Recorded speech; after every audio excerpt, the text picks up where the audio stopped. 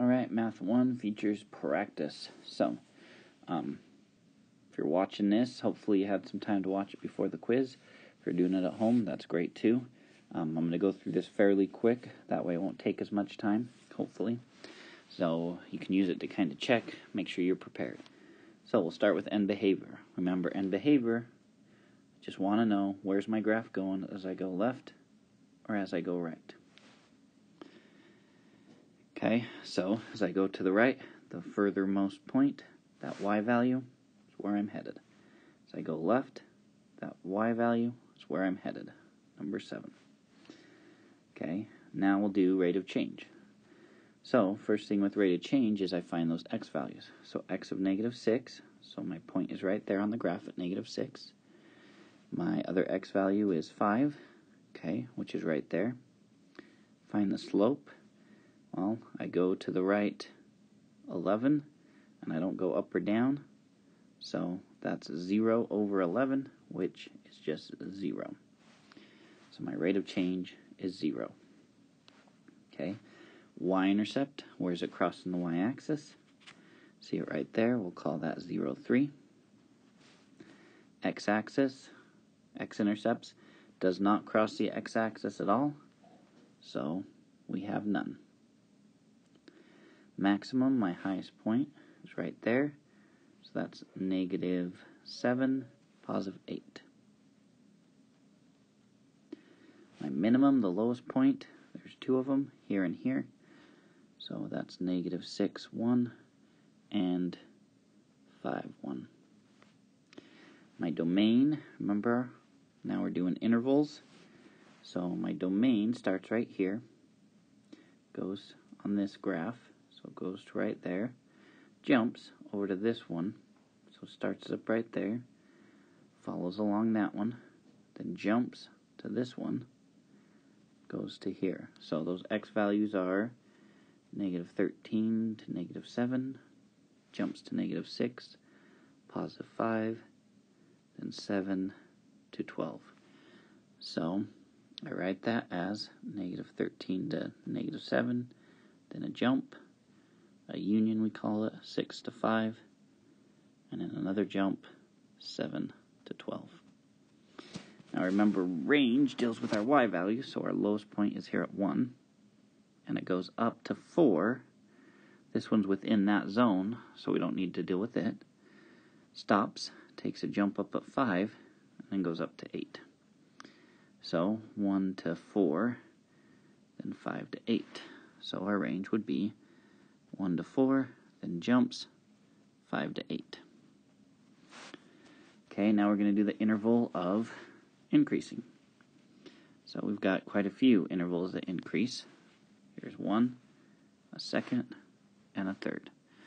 So the first one, negative 10 to negative 7. Then it jumps. Second one, negative 6 to negative 2. And it jumps, and that last one is 7 to 12. Okay, so there's my intervals of increasing. Decreasing just has 2. So from negative 13 to 10, negative 10. And then it jumps. And then from negative 2 to positive 5. Now, it's positive, always positive, always above the x-axis. So that's the same as domain. I'm just going to write here same as domain. Okay, and negative, it's never negative. Alright, so there's the first one. Hopefully you did it well. If not, hopefully you found your mistakes. Okay, hopefully you're not using the y values when you should be using x values. Okay, and hopefully you're not swapping where the zeros are here. Okay. Alright, let's take a look at number 3 now. I guess the way I had to do it, that's really number 1, but it's 1 and 2. So this is really number 2. Okay, so end behavior, we've got left and then right. So, as we go to the right, looks like it stops right here at negative 5. As we go to the left, notice we have that arrow, and it's going down to the negative infinity end zone. So as we go left, it goes to negative infinity. Okay, rate of change. We go to negative 2. Negative 2, our graph is right up there. Positive 4, our graph is right here. So that goes down 1, 2, 3. Negative 3, 1, 2, 3, 4, 5, 6. So negative 3 over 6, which can reduce to negative 1 half for our rate of change. Okay, y-intercept, pretty easy to see where it crosses the y-axis. Make sure it's 0, 5, not 5, 0. Then x-intercepts. So we've got one here at negative 5. So this time it's negative 5, 0 for x-intercepts. We have a second one that's a little past. We'll call it 4.75. If you did 4.5 or even 5, I would accept those as well. Okay. All right, maximum highest point is right here, and that's 6, negative 2, so negative 2 for the x, 6 for the y. The minimum, because this keeps going down, it doesn't have one. Okay, technically this would be a relative minimum, but we're not worried about relative minimums right now. Now domain and range. Okay, so the x values, so I start here at 6, and then when I go left, I'm going to keep going, aren't I? So when I keep going, that's our end zone over here. So that'd be negative infinity because it's left to 6. So my domain, negative infinity to 6. My range, because that keeps going down, this is going to go down to negative infinity and then goes up to 6. So negative infinity to 6 again. All right. Now, where is it increasing? So it starts down here at negative infinity, and it increases till it hits right there. So from negative 2, and it keeps going to the left. But we always start with the left number, so it's increasing from ne oh, negative infinity to negative 2. Then we decrease down here, so from negative 2 to positive 4, we're decreasing, right? Negative 2 to positive 4. And then, oh, we're still decreasing, aren't we? Till we get to 6. So, even though it's a different rate, it still is one interval. All right. How's it coming along? Hopefully, we're doing pretty good on these. Had quite a bit of notes, plenty of practice, hopefully. Okay, positive. So from negative 5 to that other x-intercept of 4.75, that's where we're positive. Negative 5 to 4.75. So for negative, okay, well, we start here at negative 5, and it's going to keep going to negative infinity is negative. So we start, let's make a better parentheses, a negative infinity, and we go till we get to negative 5. Then we jump. We start at 5 and go till we get to 6, being in under the x-axis. And there's our second one. Okay, now 5 and 6 are just calculating rate of change. So, if it's linear, like number 5, find the slope. That's your rate of change. If you don't believe me, Okay, we take the x values, the second one, subtract the first one, should give me 4. That goes at the bottom of our fraction. Then I plug them in. So I go f of 4 equals 3 fourths times 4 minus 10. 3 times 4 is 12. 12 divided by 4 is 3. 3 minus 10 is negative 7. So we would have something minus a negative 7. Then we would go f of 8 equals 3 over 4 times 8 minus 10. So 3 times 8 is 24 divided by 4. 24 divided by 4 is 6. 6 minus 10 would give us negative 4. So I had negative 4 minus a negative 7, which that's like plus. Negative 4 plus 7 is a positive 3. That number goes on the top. Same thing. Okay, number 6, same idea. 0 and 50, so I go the second minus the first. So that gives me my bottom number, okay, of my fraction. Then I have to figure it out. So f of 0 would equal negative 4 times 0 plus 56. So that would be 0 plus 56, so we get 56. So 56 right here with the 0. That's f of 0, I should say.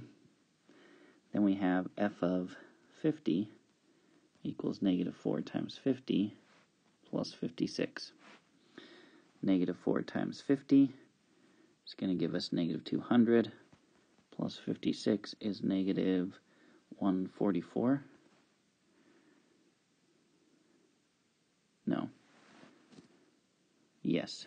So negative 144 minus 56 is negative 200 again. Negative 200 divided by 50 gives me negative 4, which this was linear again. See, same thing. So there's a shortcut you can use on linear functions. All right, let's keep on trucking. So end behavior, left, as this graph goes left, it's hitting that y-intercept, and it's 13. So our y-intercept is 0, 13. I know I'm going quick. Right, as we go to the right, that's a pause of positive 14 right there. So, pause of positive 14. Okay. All right. Our rate of change 34 at 34, that's our endpoint. And at 14, that's that point right down there. So we go up one, actually that's up two, isn't it? Two, four, six, eight, 10, 12. And we're over two again, two. 2, 4, 6, 8, 10, 12, 14, 16, 18, 20. So, vertical over horizontal, 12 over 20. That would be 3 over 5 if we reduce. So rate of change, 3 over 5, because we like to reduce. Alright, no x-intercepts, so none. Maximum, our highest point, looks to be right about there. So it looks like it's 31 and about 14 and a half. We'll call that. Okay, our minimum, our lowest point right there, which is 14 and 2.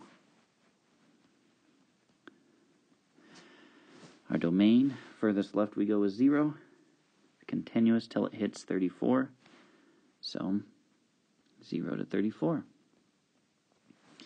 Our range, lowest is 1. Highest we said was about 14.5. So 1, oh, 2 to 14.5, sorry. Okay. Now, you probably notice it's all, all positive, so that's the same as the domain, which would be 0 to 34, making negative the empty set or never. Okay, decreasing starts at 0, decreases till we hit that minimum of 14, so 0 to 14. So 0 to 14, and we're we think we're done decreasing, but we're actually not. Then we increase till we hit that maximum. So from 14 to 31, we're increasing. And then we're back to decreasing we get to 34. So that jump, 31 to 34. Whew. We're knocking this out quick, aren't we? All right, now it looks like we have a dotted line, okay, but it does look exponential. So let's attack it. So end behavior. So we go left. Now it looks like, okay, remember exponential functions have that asymptote. Looks like the asymptote is here at 1, so it never reaches 1, but that's what it's approaching. As we go right, looks like it's just going to keep going up and up and up, so we call that infinity. So now this one is kind of interesting because it actually doesn't have a maximum or a minimum because it keeps getting so, so, so very close to 1, but never to 1, but it never stops. None of that seems mathematically weird, but that's the situation. Okay, maximum goes up to infinity, so none. Guess you could write infinity, but that's technically not appropriate. No x-intercepts because it's never going to get down there. Y-intercept of 0, 2. Make sure the zero's first. Now rate of change. So an x value of 0 right here, an x value of 2 right up there. So we go up 1, 2, 3, to the right 2. So rate of change 3 over 2. Now my domain, okay, so I have x's and they're going to keep going left. I have x's that are going to keep going right. So end zone to end zone. Woo! Racking up the points there. So it would be negative infinity to positive infinity. Range, however, it's never going to go below 1. Actually, never touch 1. But it will keep going up to end zone. So that's like, you know, punt receiving right there off the one yard line. So we can do a bracket here and go 1 to positive infinity. Though technically, because it never hits 1, we could do a parentheses as well. Okay, now as we go left to right, it's always increasing, so it's never decreasing. Um, but it's going to be the same as the domain, negative infinity to positive infinity.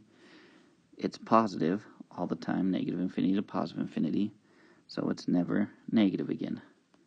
So we kind of like those uh, those ones, don't we? Make things a lot easier for us. All right, there we go for now. Let's take a look now at some rate of more rate of change. All right, so we've got our rate of change from 24 to 48. So I go 48 minus 24, which gives me 24 for my x. That's the bottom of our fraction of our rate of change. Then we go 240 minus 60, which would give us 180. So we get 180 over 24. Now we could reduce that. And if we reduce that, we could get um, 30 over 4, which we could reduce to 15 over 2, or 7.5. Okay? All right, number 12. So we go 2 to 5. So 5 minus 2 would give us a difference there of 3. 121 over 30 would give us a difference of 91. So we'd have 91 over 3, which I don't think we can reduce that one further. Alright, so now let's take a look at this next one. So we start with our end behavior. Okay, as I'm going left, my graph is going right up there to number 2. And as I'm going right,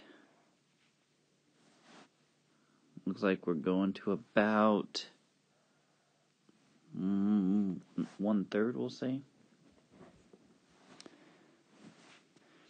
Okay, now rate of change um, from negative 10 to negative 2. So negative 10 would be up here at 2 and negative 2 would be right here at 0. So we go down 2 to the right 8. So it would be negative 2 over 8 or negative 1 over 4 for our rate of change. Okay, for our y-intercept, pretty easy. We can see that right here at 0, 1. For our x-intercepts, we've got negative 2, 0 and it looks like negative 0.5, 0 as well. For our maximum, our highest point is right here at 3, 7. For our minimum, our lowest point here at negative 1, negative 1. Our domain, right, all those x values. Okay, we start here at negative 10, and we keep going till we get here at 6. So, Domain is negative 10 to 6. Our range, we start down here at negative 1, and then we go up till we get to 7. So negative 1 to 7. Okay. Now where we're increasing, okay, looks like we start out here at negative 10, and we're decreasing, decreasing, decreasing, till we hit negative 1. So that interval right there. So that's decreasing from negative 10 to negative 1. then we're increasing from negative 1, right? We're increasing till we hit 3. So increasing from negative 1 to 3. And then we're back down to decreasing from that 3 till we get to 6. So we jump and we go 3 to 6 here. Okay? Now, positive and negative, the majority of it's positive, we can see here. So we're positive till we hit that negative 2, so negative 10 to negative 2, we're positive. Then we go negative from that 2 till that negative 0.5, so negative 2 to negative 0.5. And then we jumped back to positive at negative 0.5, and we're positive the rest of the way from that negative 0.5 to 6. Okay, there's our positive intervals and our negative interval. Alright, now let's take a look at the table. So, same concepts here, just on the table format. So, my end behavior as I go left, so my left is my smallest number. I'm approaching 10. As I go right, my biggest number is 12, and that's also going to 10. So our rate of change from 6 to 10, so we go 6 to 10, so that difference is 4. Then 4 to 0, that's also 4. So it'd be 4 over 4 or 1 for our rate of change. Okay. So now, y-intercept, we find where the x is 0, and that point is the y-intercept, so 0, 10 here. x-intercepts, we find where the y is 0, so it's 6, 0, that's our x-intercept. Okay, maximum, we look for the highest, biggest y value. We actually have two of them. So 0, 10 and 12, 10. For minimum, we look at that lowest point, and 6, 0 is our lowest point.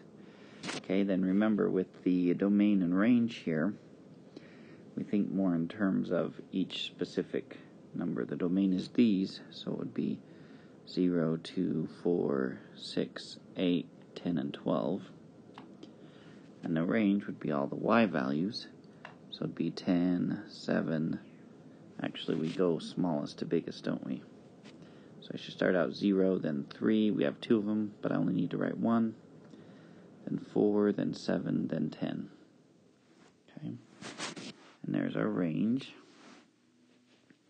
Now, for increasing, remember we look at, for increasing and decreasing, we look at our numbers. So 10 to 7 is decreasing, 7 to 3 decreasing, 3 to 0 decreasing. So from 0 to 6, we're decreasing. Then we are increasing the rest of the way. So from 6 to 12, we're now increasing and they're all positive. So from 0 to 12, we're positive. And so negative, we're never negative, or we do that empty set. All right, two more problems, but we're using the same table for rate of change. So 0, 4. So 4 minus 0 is 4. So there's our bottom on this one. And that's uh, 554.61 and 500. So 554.61 minus 500 would be 54.61. Okay. So 54.61 divided by 4 would give us, and that gives me about 13.65. Now I do 2 to 8. So 2 to 8, 8 minus 2 would give me 6. So 6 on the bottom then 615.19 minus 526.60. So just using a calculator, I can do that. And uh, I get 88.59. Divide that by 6. Get a rate of change about 14.77. Alrighty? Oh, so, last few our left end behavior, smallest number, It's approaching 55.5. Our right end behavior, biggest number, 10. It's approaching 56. Rate of change, negative 8 to 0. So 0 minus negative 8 would be a difference of 8. Then 53.33 minus 52 would be um, 1.33. So 1.33 divided by 8 would give us a rate of change of about 0.166. Okay. Now y-intercept, where we have 0, there's our y-intercept, so 0, 53.33. Okay, there's no 0 on the right side, so there's no x-intercepts. Our biggest point is, our highest point looks to be 60.05. So our maximum is 2, uh, 60.05. Our minimum, lowest point, looks to be here at 50, so negative 650. Okay. Then our domain and range, our domain, remember, is just the left side, so it's all those numbers, negative 10, negative 8, negative 6, 0, 1, 2, 3, 6, and 10. And our range is all the y values. Um, guess we should start with the smallest, 50, then 52, 53.33, 55.5. I'm going to run out of space. Um, oh, add a 55 before 55.5. 55.5, 56, 57, 58, and 60.05. Okay, so um, increasing and decreasing. So 55 to 52, it's decreasing to 50, decreasing. Then it's increasing, increasing, increasing, decreasing, decreasing, increasing. So we start out decreasing until we get to 50. So it's decreasing from negative 10 to negative 6. Then it's increasing from negative 6 till we hit 60 so negative 6 to 2. It's increasing. Then it's decreasing from 2 to 6. So it jumps, then 2 to 6. And then it's increasing from 6 to 10. Alright? Alright, now these are all positive numbers, so there's no negative numbers. But for the positive, it goes from negative 10 to positive 10. All right, last uh, table. So left end behavior uh, is 12. Right end behavior is 0. Rate of change, negative 1 to 1. 1 minus a negative 1 would give us 2. Negative 12 minus negative 12 would give us 0. 0 over 2 gives us a rate of change of 0, which happens. Okay, our y-intercept. We've got one right here, so 0, negative 18. It's our y-intercept, our x-intercept. Looks like we have two zeros here, so we have two of them, negative 3 and positive 3. And I'm almost out of time, aren't I? Okay. So, um, I'm going to have to go kind of quick here on these ones, and to give us time to do the last ones, I'm just going to hurry and fill out the last one. Alright, so we can see max, min, um, domain, range, increasing, decreasing, positive, and negative. The weird thing about um, this positive, this 3, 0, it's not positive or negative, it's just 0, so we didn't include that one, okay? Alright, so for the last three, 30 minutes, okay, remember on these ones we go the x values 2 minus 0, and then I plug those in for f of x, and then I solve them, okay, like this. So, we go 2 minus 0 equals 2, that's our bottom number. We plug in 0 and 2, and we get 149 minus 5 equals 144, we get 72. And here we go with the last one.